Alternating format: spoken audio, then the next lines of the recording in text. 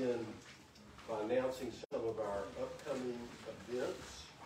Uh, you know, when, when COVID uh, came around, we of course basically shut down doing events. We couldn't do events anymore. We did some on Zoom and that sort of thing. Uh, and then once COVID was uh, began to be, we think, uh, when it began to ease up, we started getting back to our events, and uh, it's uh, you know it's taken us a while to get there uh, and to get back to normal. But I can see due to our calendar now that it's really starting to look like kind of the good old days. Um, tomorrow, Lee Durkee, uh, another writer who lives here in Oxford, uh, is going to be here with his book, Stalking Shakespeare. Uh, it's a memoir about his session with Shakespeare and Shakespeare portraiture. And there was a review in yesterday's New York Times by the uh, director of the Globe Theater in England, uh, which was a very uh, positive review. Uh, it's, a, it's an interesting and fun book, and uh, that'll be same time tomorrow uh, here at 5.30. Lee Durkee with Stalking Shakespeare. Uh, Thursday, uh, Thacker Mountain will be at the Powerhouse, and the guest author will be Frank Bill, who has a novel called Back to the Dirt. Uh, on Friday, we're going to have a reception, not a not a speaking or reading event, just a reception, uh, meet and greet for uh, Peter Osnos at four o'clock at the main store. Peter Osnos is a has been in the book uh, business or or working as a journalist his whole life. He's in his uh, I think maybe upper 70s now, and um, he was the founder of Public Affairs Press, a, a, a very uh, excellent press. It did all sorts of books and about uh, public affairs, uh, government. Um, he was also an editor at Random House and published uh, biographies of uh, Bill Clinton and uh, I think four different presidents. Uh, so anyway, that's at four o'clock. If you want to come by and say hi to Peter Osnos, and he's got two fairly recent books. One on the Helsinki Accords, and another one I can't quite remember exactly what it's about, but it's in the it's in the uh, political science sphere. Uh, and then on Saturday, uh, Grace Valentine will be here at Off Square Books with a devotional, or for, for young women called the 90 Day Devotional. And that's at 11 a.m. We're going with some odd times here, you know, on Saturday.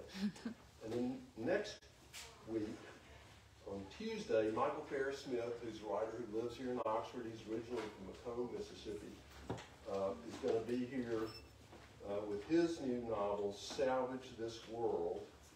And then Thursday of next week on Thacker Mountain uh, Radio, again at the Powerhouse. That'll be the last show of the of the season. Uh, Tom Piazza, who's been here uh, several times in the past years, uh, will be here with his new novel called The Auburn Concert, and that I'm told is about Auburn, New York, not Auburn, Alabama. So that's uh, a lot going on just within the next couple of weeks. But today we're here for Heather McTeer Toney. Very happy have her and uh, have her with her first book. Congratulations, Heather. Uh, we spent a little time this morning while she signed some some books. Uh, before the street lights come on, Black America's urgent call for climate solutions. Um, she is the former mayor of Greenville, Mississippi. Uh, she was elected at the age of 27. Uh, I was almost twice that before they elected me. uh, she was appointed by uh, President Obama as regional minister, administrator for the EPA's uh, southeast region. So she's um, dealt in this um, environmental protection uh, sphere for some time now and uh, knows what she's talking about here. So we're thrilled to have her uh, here uh, today and uh, to have her here in Oxford. I'm, I'm always happy when there's another writer in town. And uh, she's here with her husband, uh, Dexter, and her two, two children, uh, Devin, who's at Bramlett School here in Oxford, and uh, Dariah, who's at Oxford High School. So, without anything further, Heather, welcome, and I turn the program to you.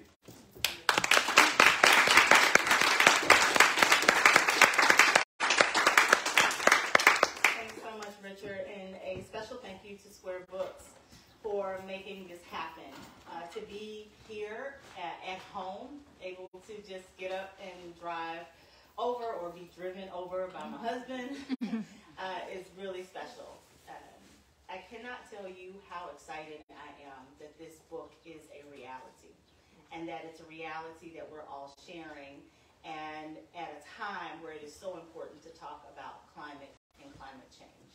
So thank you for coming out. Thank you for buying the book. Thank you for being a part of this. Happy Earth Week, because that's what today is kicking off, and it's really important um, that we're having this conversation. This book would not exist if it were not for the three people sitting on this front row. Um, my husband, Dexter, the little one, Devin, and, and Dariah, who dealt with countless evenings of me being away and writing, of me taking time to ponder, think, fuss, be frustrated at, and to go through this process over and over and over again. I love you more than you know. And when you get the book, you'll see at the very beginning of it, the book is actually to my children because it's for them that I do this work. And it's really for all of our communities and children everywhere that we focus on climate and environmental issues. And so it's very important that I constantly acknowledge and keep them at the forefront because that's the reason I write. Um, it's the reason that talking about this issue of environment and climate is so critical to every single aspect of our life. And I wanted to bring a different. And so I also want to thank uh, a number of others before I really dig in. First of all, thank you to everyone who's tuned in online and watching us. As they say, I think click and reshare. I think I said that right. um, I really appreciate people taking out the time. To all of my sorority sisters from Alpha Kappa Alpha Sorority Incorporated, thank you so much for being tremendously supportive, and everyone in the Oxford community. Our church family at Oxford United Methodist, the schools, everyone who probably sees me and knows me mostly from running around as Devin and Dariah's mom. Um, I am greatly appreciative. I want to start by answering one question that I probably get asked most, more than anything else. It is, Heather, what do you do? Uh, what actually do you do every day? So, up until last week, my job was as the Vice President of Community Engagement at the Environmental Defense Fund. And I've worked in the space of environment and climate for almost 20 years now, realizing that it is because of the connections on community that so often we have missed the importance of seeing our work every single day. Last week I changed jobs and became the executive director for Beyond Petrochemicals for the Bloomberg, uh, Bloomberg Philanthropies. So a different group, but same focus and still in partnership to do the one thing of ensuring that we don't continue to see environmental injustices across our country. It's really special to do this and be from Mississippi, and let me tell you why. There are so many times I have gone to places and they're like, You're from where? Black folks don't care about climate change. What are you talking about? You mean people in Mississippi know how to spell climate change? Seriously? And those are the questions that I really love and dig into because it is so important that people from our part of the country understand that we're probably closer, closely, more closely connected to climate and environment than a lot of people are. It is so ingrained into our everyday experience that you deal with it and don't even realize it. I have learned more about climate and environment just from talking to hunters about the fact that they have snakes in their deer stand at different times of the year versus when they had it when their grandmother or grandfather was out hunting. Or how people talk about what is growing, when it's growing, how it's growing, how the seasons have changed and moved, and what that means.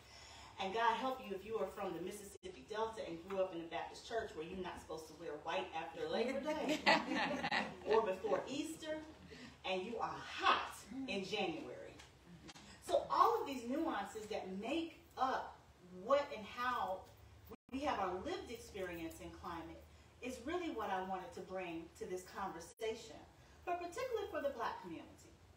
Because again, so many times I would come into situations and people would say, but black people don't care about climate change.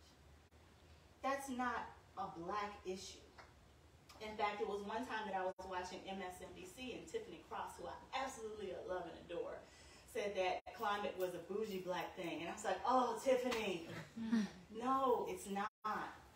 And since that time, it's been wonderful to see how people have understood and connected to these things that we draw upon each and every day. And so in writing, I wrote about all of the places where I saw connections to climate solutions that were a part of our social justice issues that we were facing. I wrote about the experience of connecting and witnessing the murders of George Floyd, Ahmaud Arbery, and Breonna Taylor, and how climate was an accomplice to that because of heat. And how historically, throughout our communities, we have experienced extreme heat, more so than other neighborhoods and communities, simply because being surrounded by concrete and non-impervious surfaces the places that don't absorb heat, and not having trees and not having parks makes it hot. It makes it hot for the people who live in the communities, but even more so for the police officers that are wearing all black and having to patrol these communities. And so I wrote about not only how that felt, but how it felt as being a black mother of a black son, sons, and wife to a black husband. And how we feel significant pain when watching the crisis take place worldwide knowing that we're also working on climate and environmental issues at the same time that exasperate that problem. I wrote about voting. In fact, one of the things that you'll find in the book is every single section has to-do items at the end because we all need something to do. So many people ask, well, what do I do? What is my space? So I made it a point at the end of every chapter to give you at least five things you could do and then at the end of the book, a compilation of things that we can all do together to act more on climate that don't seem so out of whack. I wrote about faith because I come from a Christian household and am a Christian woman.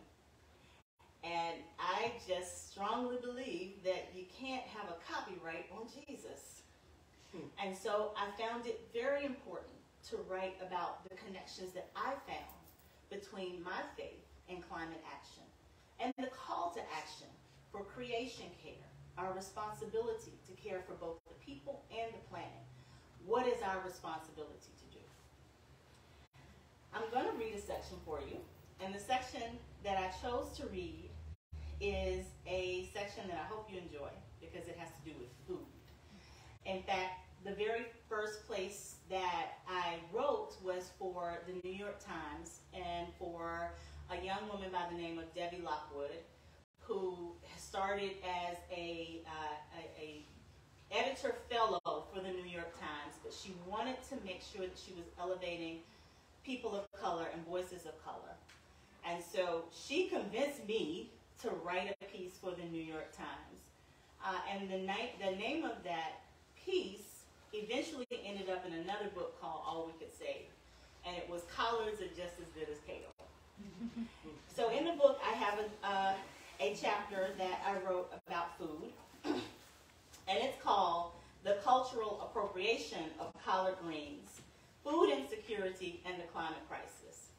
And the reason I thought this would not only be appropriate, um, when just being in and around Oxford, I see how much passion this community has for caring for people, from the food pantry to the farmer's market to the places where we have gardens, we talk about it all the time. We are sitting inside of Off Square Books where you could probably find just about any food or gardening book that you wanted somewhere on these shelves, and if not, they could probably order for you. But our connection to land and to food and to air and to agriculture, it is woven into everything that we are and that we have it's what makes us smile. It brings us joy. And some of us have a few extra pounds on our hips because we like butter and we like to eat good. So connecting that to the climate crisis, particularly for our community, the black community, was important. Because there are parts of the climate crisis that call upon us to reduce certain parts of our food. And it's a challenge. How many times I have heard scientists say, well, we all have to be vegan, we all have to be vegetarian. And I'm trying to figure out how I'm going to go into my local church and tell them we cannot have chicken or we can't have bacon on the salad. That's going to be a problem in the South. And it, it's what causes these lines of division versus identifying innovation and ways that maybe we can slow some of the things that we need to slow down without excluding everyone. And so that's what I wrote about. And if you allow me a little bit, I'd like to read you a portion of it.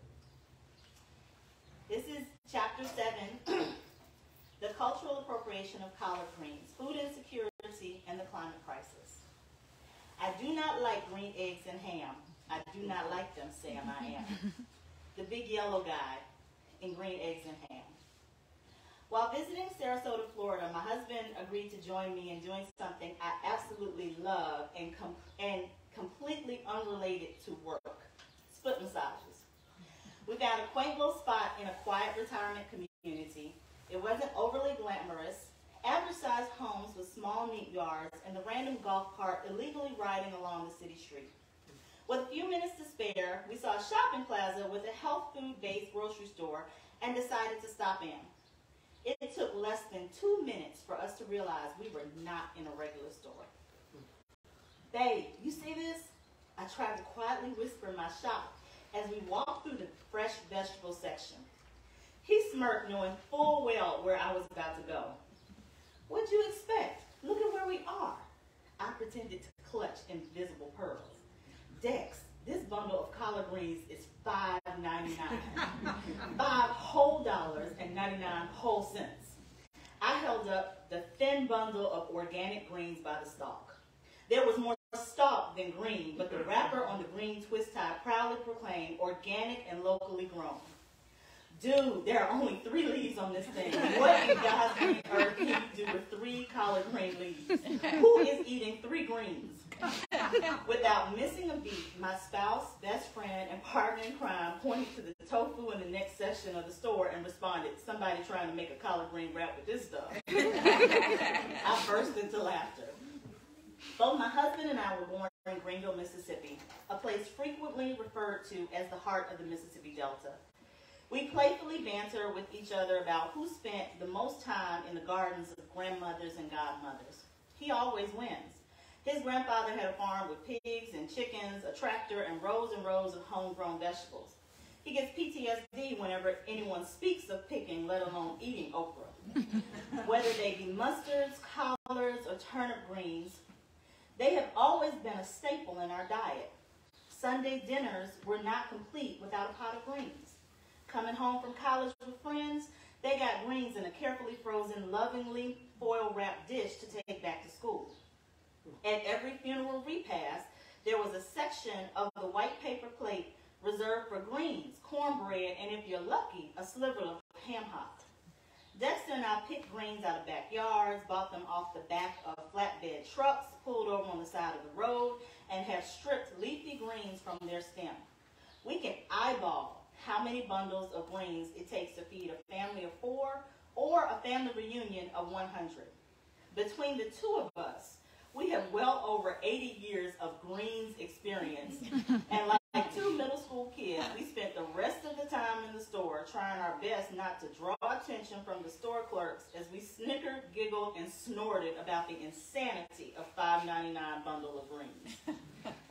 My husband's assessment of the who and why of 5.99 collard greens was not far from the truth.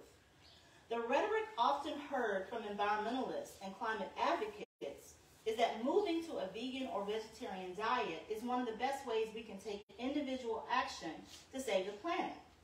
We've already established that a major factor of global warming and climate change is human activity that increases heat trapping gases. If we're going to be effective in fighting climate change, then we must reduce this activity in every way. After fossil fuels, deforestation, and food production are the biggest emitters of heat trapping gases. We cannot achieve climate stabilization without changing entire food systems from beginning to end and feeding, feeding livestock complete through package and distribution channels. Individual action alone won't cut it. To avoid further catastrophic impacts from global warming, like wildfires, floods, heat waves, and drought, we have to work together to change how we produce food while cutting our meat intake at the same time. Uh, that is the beginning of the chapter of food and climate crisis. And throughout that chapter, I go on to talk about things like the environmental poverty tax. Most people know what an EBT is, the electronic benefits card that people use for SNAP. But I talk about the environmental poverty tax that so many people are impacted by. The fact that if you don't have clean water to drink, that only not impacts how much you have to pay for plastic bottled water that's also detrimental to our climate. But it means that for those people who have a skin condition and now have to buy special soap or special lotion because they can't take a bath in that water. Or the cost of simply going to the grocery store Whereas most of us can run in and out of Kroger in our cars, there's so many people who are not only impacted because they live in food deserts, places where they can't get fresh food, but also because of the extreme weather increases, it means that tornadoes and hurricanes that come along completely wipe out the electric infrastructure, so there's no energy in these spaces. It means that a mom who's trying to get to the grocery store and has to take her kids with her because she doesn't have child care, that adds to the cost. It means that even in the safe spaces we find, particularly in the black community, where we have our grocery stores like so many other communities around this country, but then there are people who drive hours to come and shoot up a grocery store makes us not feel comfortable in the spaces that we. So to be included and the amount of money that you pay for food is a part of that climate crisis as well. And these are the things that we have to talk about and that we have to connect. I will stop with this, and if there are questions, I'm happy to answer them. I try to infuse hope throughout this entire book because there's enough climate despair that's out there. You don't need another person telling us we're going to hell in a handbasket. Hmm. What we do need are people who are willing to find innovative and creative ways to solve the problem and to listen to different groups about the solutions that currently exist. And there are so many of them. I am more than excited and enthused about my daughter's generation and the generations coming because they're figuring out how to look at climate and environmental issues in the metaverse. They're using social media to talk about how we can move and make significant change. They're creating pathways that make sure that things like the methane that comes out of cows, the reason why people want to get rid of all of the meat, they're just creating gas X for cows and identifying really new ways that we can solve the climate crisis. They are the embodiment of sustainability and resiliency. And I couldn't be more excited about it because hopefully we'll get a chance to retire somewhere on a beach that still exists. And it's so important that we're investing into young people to make sure that their pathways are solid. So I'm going to stop with that. I am beyond thrilled that you come out, that you've spent time, that you will get a copy of the book, read the book, and then take some of the actions at the end of the book. Share it with friends, with families. Take pictures, post it on social media, share your actions, normalize talking about climate, and normalize talking about the environment. And above everything else, vote. Because that is what will make such a significant difference in what we are able to do both now and in the future. Thank you.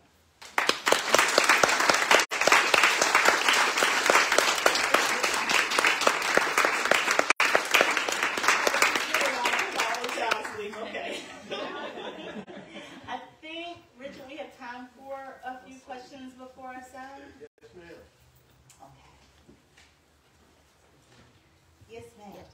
In your environmental justice work, how do you go about establishing trust with the communities that you work with so that you can have these open questions and conversations? I love that question. Thank you. The question was in environmental justice work, how do I go about establishing trust in communities so that we're able to do some of the work that we do? And that's such an important thing because so many people go into communities and don't establish trust. Right? In the book, I talk about um, what's called a three meeting method. Uh, I think that you have to have at least three meetings with communities. The first is just to listen, to be present and to listen, to identify in space and show up as someone who's willing to learn and take in what is happening in that community, in that space. The second meeting you go to typically is where people are trying to figure out who you are. Why are you here? Why are you showing back up? What do you want or what can you give? And that is really important to both identify space but also connection with people to let them know you're going to come back. The third meeting is where you actually work. It's not in the first two. The first two meetings are simply getting to know you spaces and helping people become acclimated to being comfortable with someone new being in their space. Showing up that third time means that you're actually committed, that you'll come back, that you'll show up, that you're not dissuaded. And I think a continued pattern of that. And it's important to know that people of all backgrounds have to do it. I have to do that anytime I am going into an indigenous community in uh, out west, or if I am in the Northeast and in different parts of DC or New York, because they don't know me. Uh, and, and establishing that has been vitally important. Question over here. Um, yes, one Okay. Okay, um, I wish I had this book last summer, cause I had the opportunity to do a little bit of research for an organization that wanted to do, um, install solar panels throughout their church, um, several churches, communities.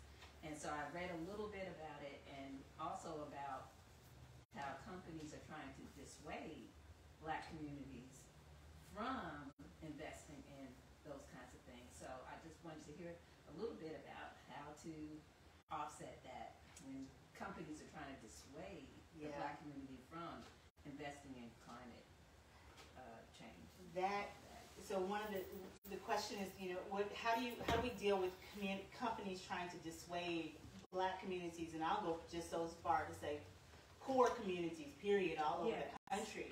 Um, from investing in climate, and it's one of the reasons why I took the job that I have now. Right now, there are roughly 120 manufacturing companies across this country that are trying to do exactly that in communities that are already vulnerable. And uh, a great example is in South Louisiana. If anybody's familiar with Cancer Alley, it's a stretch of Mississippi River that's completely inundated with oil and gas and petrochemical facilities, and the rate of cancer in that community is so high that they've just renamed it Cancer Alley. And in that community, they've not only fought off additional plants coming in, but they have been trying to install solar as a renewable energy source for their communities. And they've had pushback time after time. I went down to see, well, what is going on? And it was amazing that I drove into parts of the community where the industry was offsetting the cost of housing. You got to picture this. Beautiful apartments, single family dwellings with solar on the roof. That a 1,200 foot square, square foot apartment, two bedroom, uh, garage might cost you $350 a month. how do you combat that? And that's where it's so important for us to talk about what are not only the health impacts, but also what are the economic impactors really? Is that job really a job if you're only going to live 50 years versus 75 or the 80 that your grandmother and your great grandmother lived on? Is it really worth it if you can't use the land and property that has been passed down from generation to generation because the land is no longer any good for anything? It doesn't grow anything um, and it's toxic. And some of these spaces, like in South Louisiana, they're now finding that there are burial grounds that these industries have been sitting on top of or trying to take over. So developing this I think, is so important, as well as continuing to push to have renewable energy sources like solar. South Louisiana is getting offshore wind, which is great, and things that will help to continue to make sure that there's sustainable communities. So I'm, uh, that's one I'm, I'm, I'm glad to see continuing going. That was a question right behind you. Yeah. Um, glad you're pushing voting because um, we see every election it seems like there's fewer and fewer voter turnout.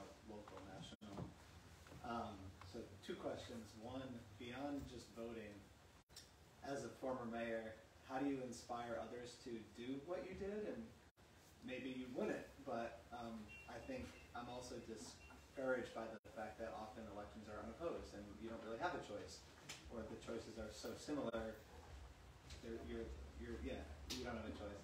And then the second part to that is, as a former mayor of a community, what locally can we do, policy-wise, that could advance climate uh, improvements? Because it's such a big issue, what things can cities and towns do? So I'm going to take the second part of that first and then go into the first, first question. Um, there is a huge need for people to sit in all positions, including appointed positions. And that is one of the places that we don't step into with a climate lens, and we really need to.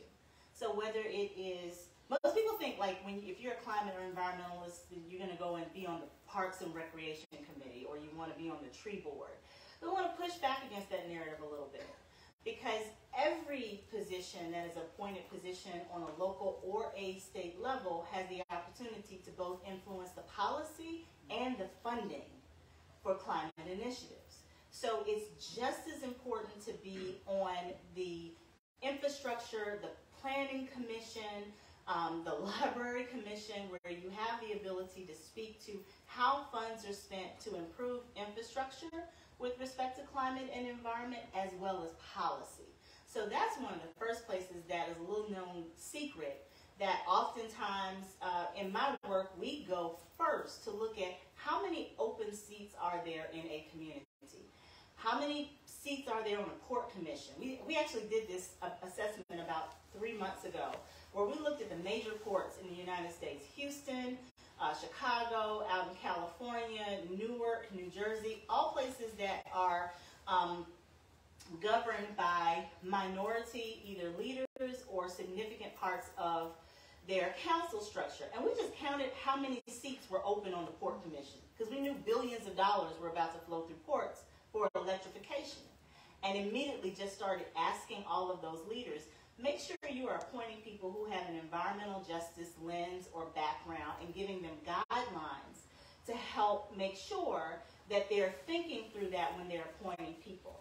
Now you're looking at a position where you've got people sitting in ports and commissions um, that are controlling money that can talk about and think about what's the air pollution that is going to be created when we're sending trucks through these ports? Because that's the space that they didn't get elected to, they were simply appointed to. And I think we should look at that on a local level from uh, city level, county level, and a state level. That leads to the second part of your question was, well, how do you not just get discouraged when it doesn't seem like there's anybody running? Politics are cyclical. And we, we go through cycles every four to eight years. And it's also cycles of generations.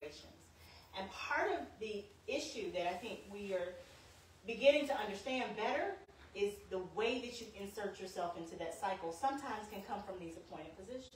If you just look at the trajectory of people who are in higher places in office, sometimes it's not because they started out and they were elected. I did it the crazy route, running for office really, really young, not knowing what you don't know.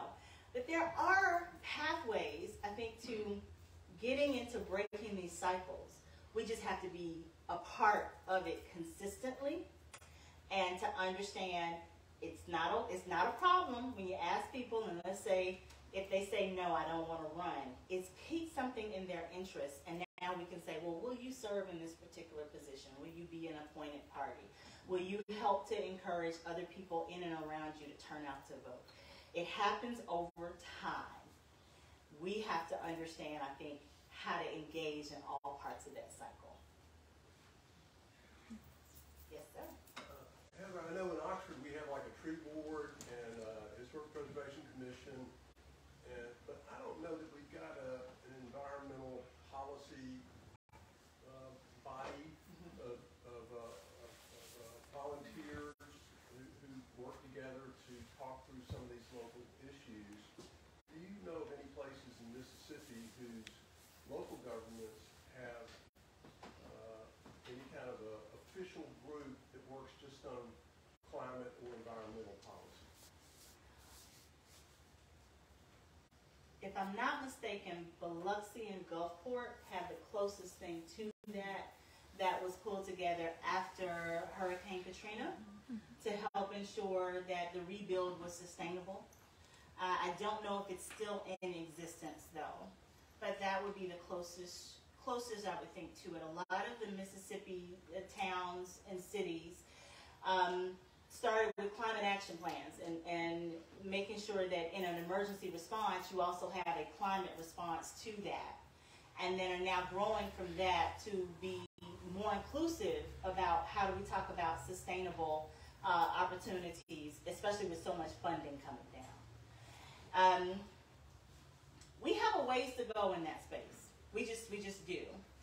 But maybe even to you know, Daniel, what you were saying, um, it is not so much as having a separate entity as it is weaving climate and environment into every single part, every single board, not just the tree board, but the school board, because these are places where people are influencing the policy and the funding. Can't stress that enough. The people who are voting on where money is going are extremely and sometimes more important. Um, when I was at Region 4, I had, so backstory, I, I was mayor for eight years. I ran for Congress, lost horribly, but it caught the attention of the federal government and President Obama. It's like, this kid has got some spunk. Okay, what can you do? And I was put then into a position where I was in charge of eight states, the entire Southeast a budget that was a half billion dollar budget and more than a thousand employees for Region 4, a quarter of the nation's population, and I was the person responsible for not only overseeing that, but ensuring that environmental justice was woven into it. That's a pretty powerful position to be in. And there's so many of those posts and positions all across not just the policy, but also really working with states got into a lot of interesting conversations with Mississippi and Alabama, as you could probably imagine. And my daughter loved being able to say that Region 4 had Disney World and, um, you know, getting uh, to do some of that. I think we did Disney World. Yeah, we did. Okay. Um, so all of these are, you know, aspects that we miss. And if we could begin to really understand the full weight and power of some of these roles, my gosh, just sending requests. A lot of times we send requests of work. Um, there's a there's a initiative that we want to see done in the state of Mississippi, so you send it to all of your state representatives to the governor's office. And you know, you might think, why am I sending this to the governor's office? He's not going to read it. But there's a whole slew of people that you miss out on that we don't send the information to that actually can push buttons really, really fast. So the head of the Department of Transportation well, Secretary Buttigieg has regional administrators for the Department of Transportation all over this country, and they influence a lot of money. EPA, HUD, Secretary of Agriculture, all of these people have, all of these offices have appointed personnel that are really dictating a lot of what happens in our spaces. So let's not leave them off the board. Because I can tell you firsthand, from when I was in Region 4, there were people in my office every single day that wanted to make sure they knew where that half billion dollars was being spent and whether or not it was being spent in their communities. Yes, sir. Uh, One, one, one comment, uh, Heather, and then a couple of questions in here as well.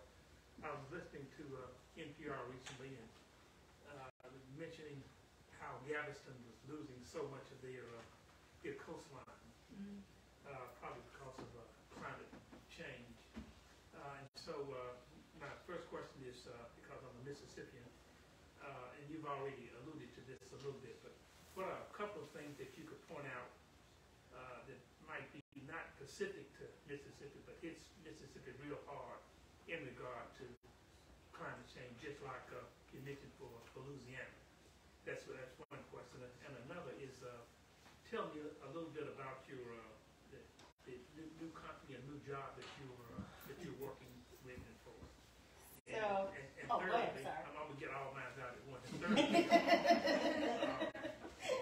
uh, a a little bit uh, about the uh, economic uh, incentives and the arguments that we can use uh, there. Yes, I love that. Okay, y'all gonna forgive me. I'm gonna take this picture from up here real fast because I believe in social media. So all of y'all are now about to be a part of my social media love um, to show the, the Mississippi love. I'm gonna step out from behind here. Um, so, the, to your first question, things specific to Mississippi, the Mississippi River, Mississippi River, Mississippi River, and the importance of the river to industry, to agriculture, to jobs throughout this country cannot be uh, delineated in any way, shape, form, or fashion. Every time there is an extreme weather event and our river gets hit, it's not only hitting farmers in the South Delta region, but up the entire Mississippi River chain. So two years ago, when we had extreme uh, flooding in the Mississippi uh, Delta region, and you had farmers that not only had complete um, a complete crop loss, that flooding, of course, went all the way up. Barges could not come down the river. We ended up with farmers that were up in Iowa who could not put their product on the barges. As a result of that, the product then gets uh, into silos. The silos were overrun, and then you had uh, product that was then left out in the fields rotting. So just from the extreme weather of what happened and impacts to the Mississippi River, the entire nation, you probably didn't know exactly why the beef prices were going up, but that's one of the reasons why. So uh, the part of Mississippi that is so critical to our entire country's infrastructure and transportation sits right along our, our Delta region. The way that our levees are protected is, is again, another vital important piece. And when we saw the tornadoes that came over about three weeks ago, if you're from the Delta like I am, I don't know if there are any other Delta people in here, we sort of had this thing that you, you would think uh, I know some folks in Greenville in the room, but you, you should amen if, you, if I write it out. You sort of, you grew up thinking that okay, the tornado comes across from Arkansas, it's going to hit the levee and bounce. right? We, we grew up believing that that it was if it was coming over from Arkansas, then it was going to hit that levee and it was going to bounce up and over us. And Lord knows how many prayer sessions we went to, and you know, sure enough, we would get we would get bounced over. But what nobody really told us was that as the storm strengthened, and you have storms that are sitting more water in the storm, it's not that it's just bouncing over, but storms move slower. And there's more water in the storm, which means we get hit harder with the amount of water that sits and is saturated in our communities. That's one of the reasons why you see these major sinkholes. If you've driven through the Delta, can't figure out why the ground just cracks. It's because the ground cannot take as much water as it has. And that impacts Mississippi differently than other parts of the country because our ground is so so fertile in the Delta.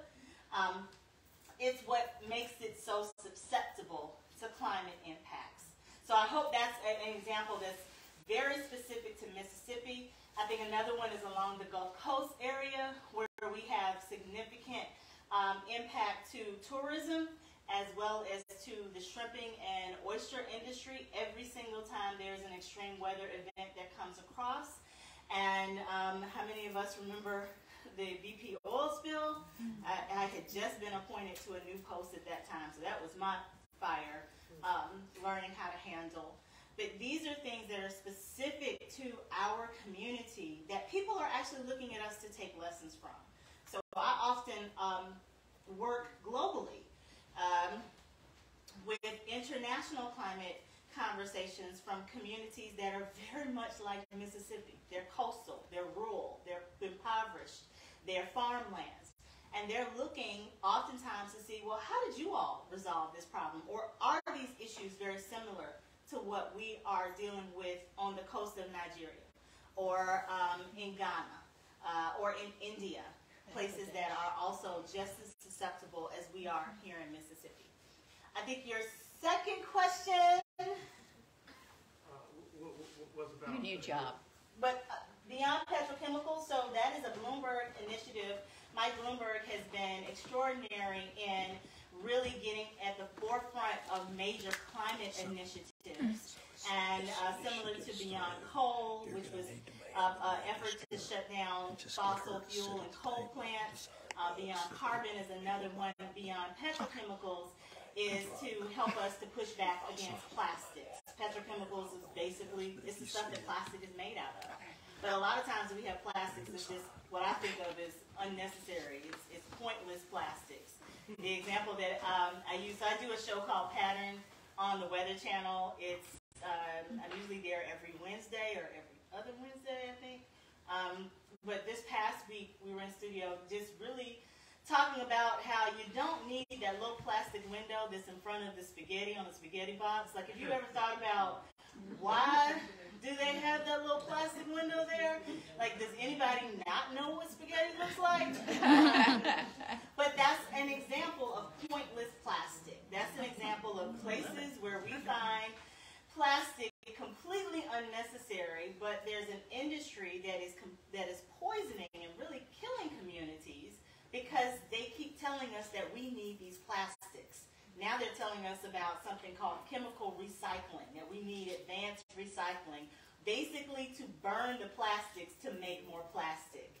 And these are um, uh, industries that are not only already poisoning people, they're trying to sort of do a bait and switch with us to tell us, oh, it's just recycling. No, it's really not. Because we don't need the little plastic window that's in front of the spaghetti. We really don't. This is just a way to make more money, but it keeps um, communities, again, continuing to suffer from extreme environmental injustices. Um, so that's what I now do. I get to talk about that. Uh, as you can well imagine, the oil and gas and petrochemical industries are very, very well funded, so it makes my job extremely interesting. Um, but it's one well worth the fight. Absolutely well worth the fight.